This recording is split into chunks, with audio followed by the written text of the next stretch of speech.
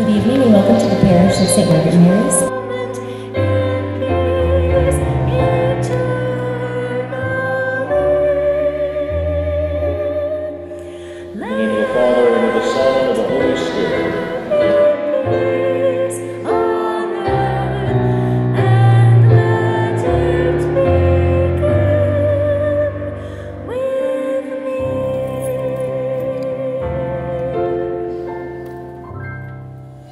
Ever since I received the letter from Father Dolan and from all of you at St. Margaret Mary about tonight's service, I've been looking forward to this gathering.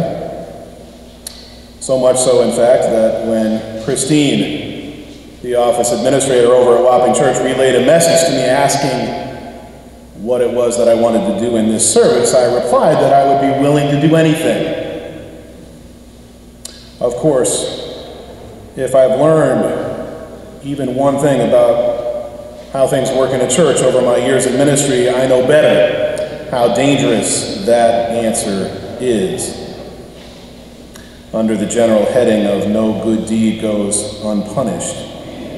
Sometimes the price of being flexible means you wind up in the pulpit preaching the sermon. The more I thought about this sermon over the last couple of weeks, however, the more I'm thankful for the invitation and the more engaged I've become by the topic. It's no coincidence, I think, that tonight's service in the middle of this week of prayer for Christian unity is so timely. Unity is a commodity that is both precious and in rare supply these days. No matter how you view it global unity, national unity, racial unity, class unity, interfaith unity, or Christian unity. The need to break down the barriers that divide us and bring people together in common purpose is as pressing right now as it has been at any juncture in my lifetime. Particularly knowing that when human beings can't find ways to unite, people's well being and ultimately people's lives are at risk. In preparation for this sermon and this worship service, I read over the draft of the bulletin carefully.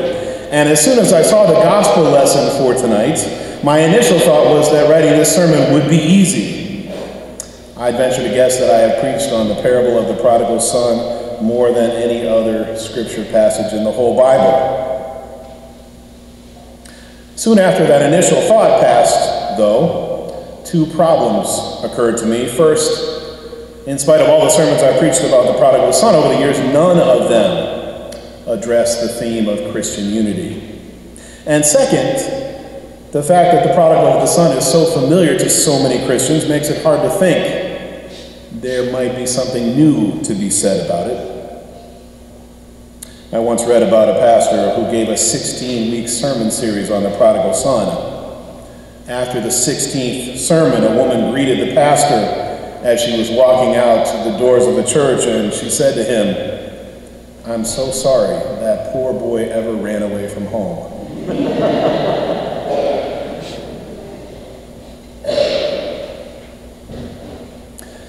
The prodigal son paints a picture of divine acceptance so radical that it has triggered astonishment and provoked outrage for generations. The question is whether you and I have heard the story so often that it's managed to lose most of its shock value. There was a man who had two sons. The moment we hear that very first sentence, we know where this story is going. And then, one verse later, when the younger son utters his devastating, relationship fracturing demand Father, give me my share of the inheritance, we barely raise an eyebrow because we can already hear the musicians tuning their instruments for the joyful reunion celebration still to come. Eventually, the younger son returns home humbled by his own selfishness and beaten down by the unrelenting temptations of the world beyond his father's farm. And there is anguish, lament, in his confession I am no longer worthy to be called your son. But instead of hearing the raw emotion in the younger son's voice, we get distracted by the aroma of the fatted calf roasting on the spit and the unrestrained eagerness of the father who can't wait to embrace his wayward child. When what we know gets reduced to something tame and something trite, the parable of the prodigal son becomes cliche instead of being surprised by its unexpected depth and mystery the parable offers nothing more than self help advice. No matter how badly you messed up, pick yourself up, receive the forgiveness you rightfully deserve, and start over right where you left off.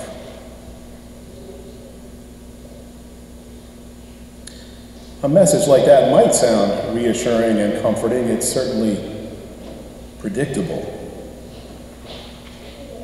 On the other hand, it's not the parable Jesus actually told in the first place. A story as much about grace as the prodigal son not only offended the original audience, it also has the power to offend us in the year 2017. After all, certain life lessons are timeless. Like the lesson that says if we behave the right way and say the right thing, it counts for something. And when we hear a story about someone who does everything wrong and still receives amazing, abundant grace, it rubs us the wrong way, no matter how many times we might have heard it. Embracing sinners and sinfulness, excusing loose living and prideful self righteousness. When it comes to preaching about the prodigal son, a little grace is okay. But what about repentance? Shouldn't repentance always be the precursor of grace?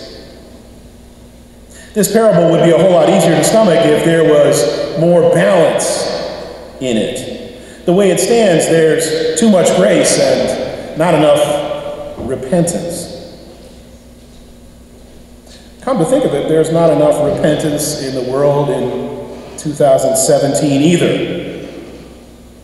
Think about some of the conversations you and I are having these days, face to face conversations with friends and neighbors, conversations on Facebook and other social media, conversations around the dinner table, sometimes with our very own family members. People are talking really loudly and adamantly People are talking right over the top of each other. People are interrupting constantly.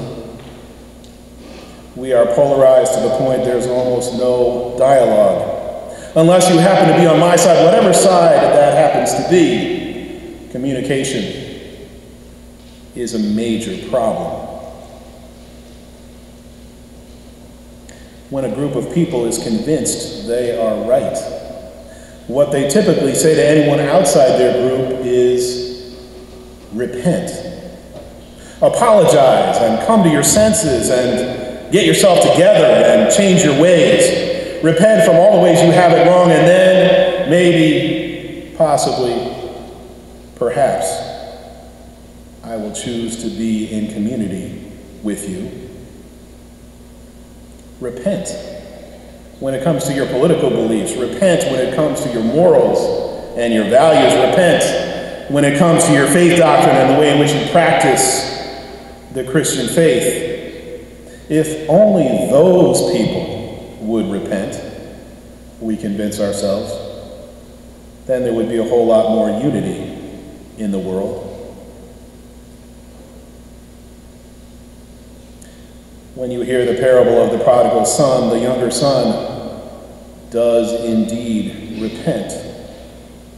Tired of wasting his life away, he finally comes to his senses and he rehearses his confession of sin. Then, when the younger son is spotted on the horizon, he speaks aloud his confession and he receives grace and forgiveness from his father.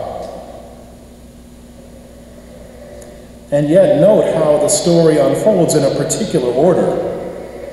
while he's still some distance away from the house before he ever has a chance to open his mouth. The father runs to meet the younger son out there on the road. Before the younger son can offer any confession at all, his father throws his arms around him. Before the son ever admits his own fault or his own betrayal or shows any sense of remorse, the father is busy kissing him. The Father's unconditional love and unmerited grace is what triggers the younger son's repentance, not the other way around.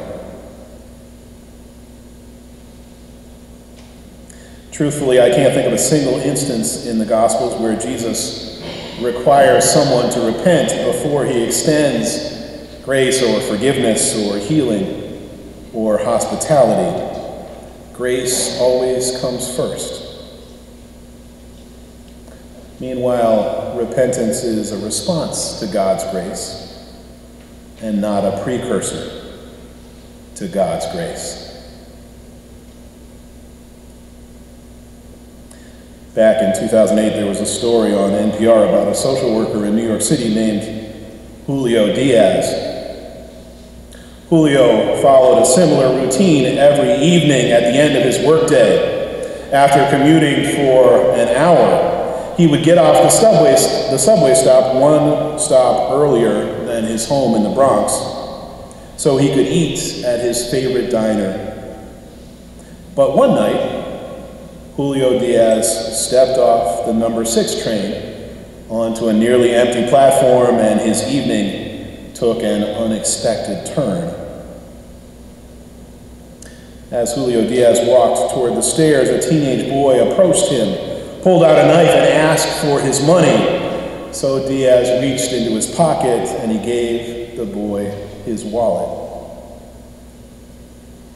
As his assailant began to quickly walk away, however, Diaz called out to him, Hey, wait a minute, you forgot something.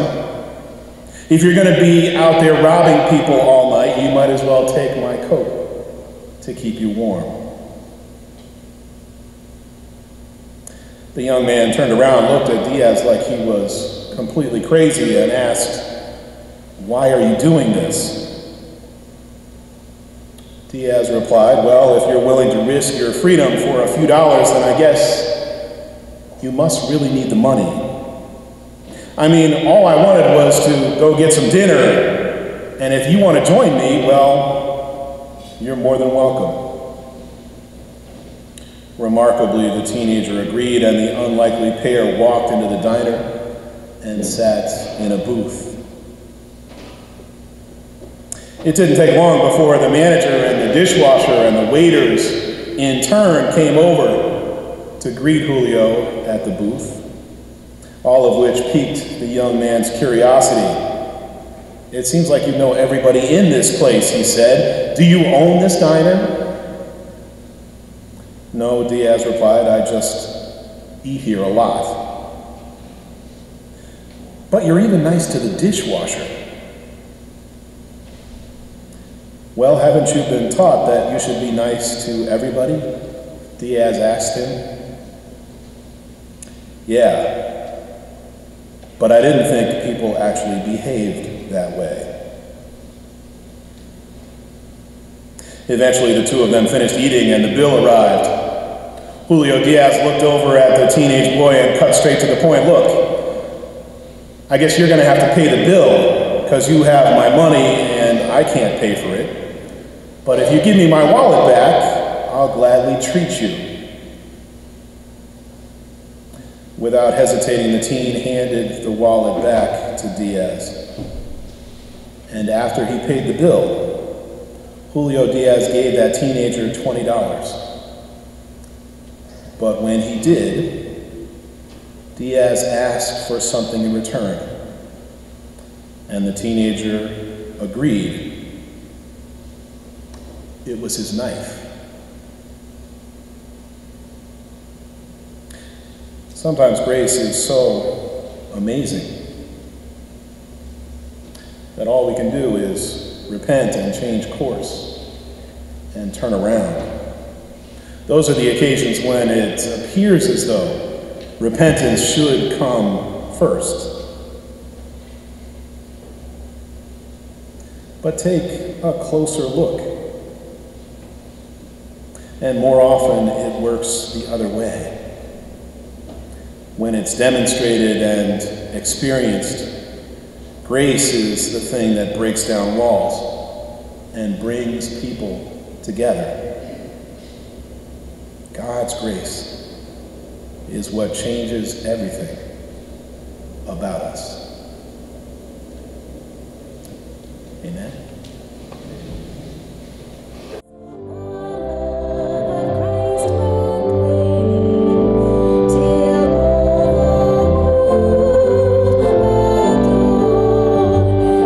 Let us give one another a sign of peace.